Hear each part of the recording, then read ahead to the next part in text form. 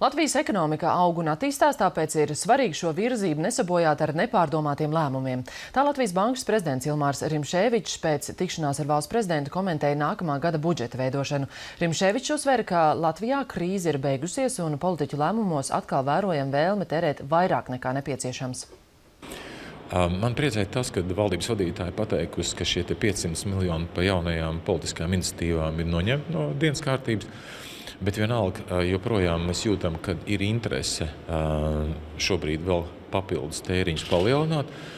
Un iet runa par dažādu um, opciju izskatīšanu. Pirmkārt, par pievienotās vērtības nodokļu celšanu, kas, manuprāt, būtu vislielākā, visaplamākā kļūda. Uh, jo um, šobrīd neviena valsts, izņemot Grieķiju, par pievienotās vērtības nodokļu celšanu nerunā.